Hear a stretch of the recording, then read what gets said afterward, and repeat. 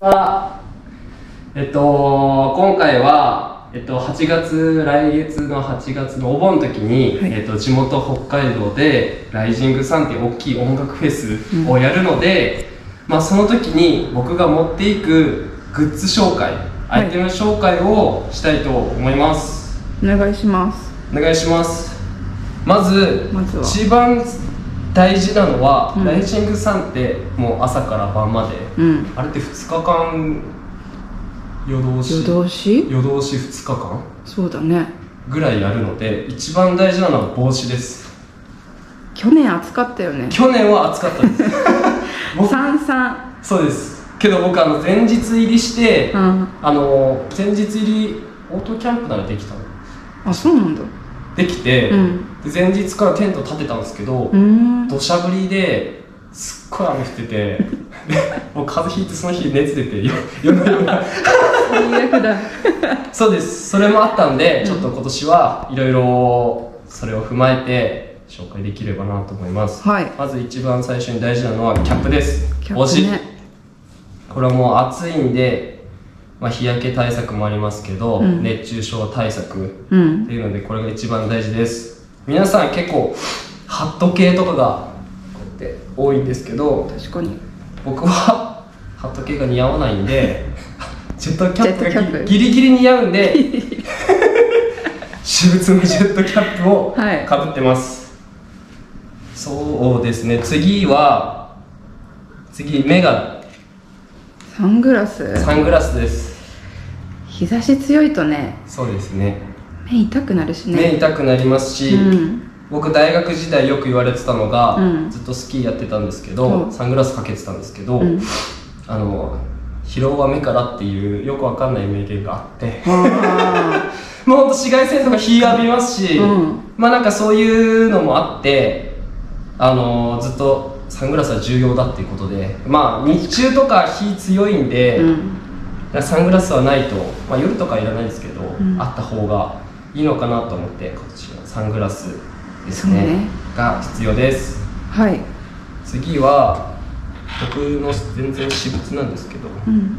あのコモディティから出てる手ぬぐい。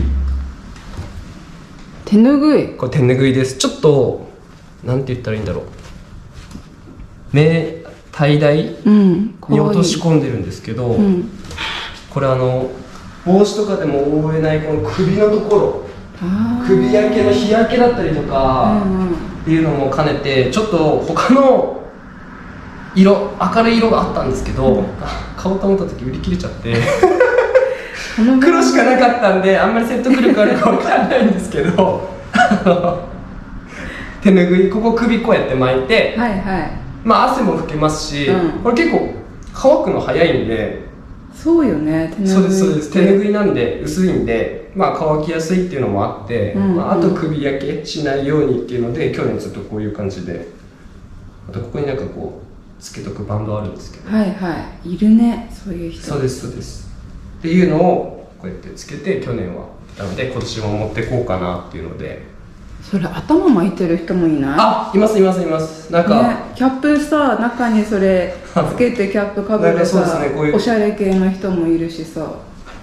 ヒップホップスタイルみたいになっちゃうけど。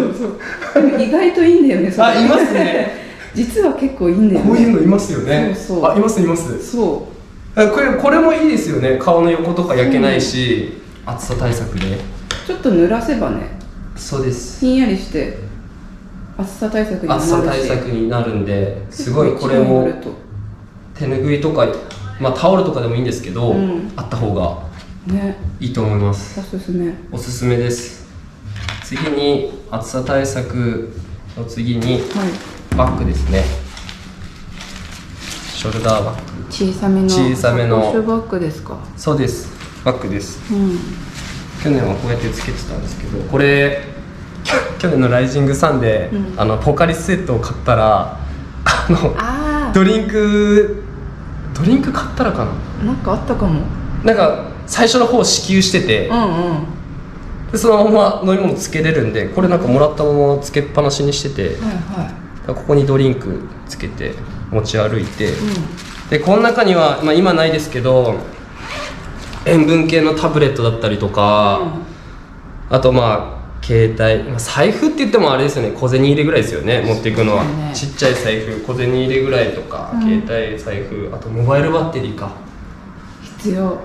去年確かあの貸し出しやってたけど全然売り切れちゃ売り切れで貸し出しされすぎちゃって、なんか充電で補充してましたけど全然モバイルバッテリーの充電足りなかったりとかしてたんで自前で1個絶対持ってた方がいいですね持ってた方がいいと思うんでモバイルバッテリーと、うん。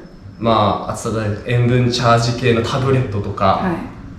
まあちょっとした小銭入れとけるような大体電子決済できるんですけど、うん。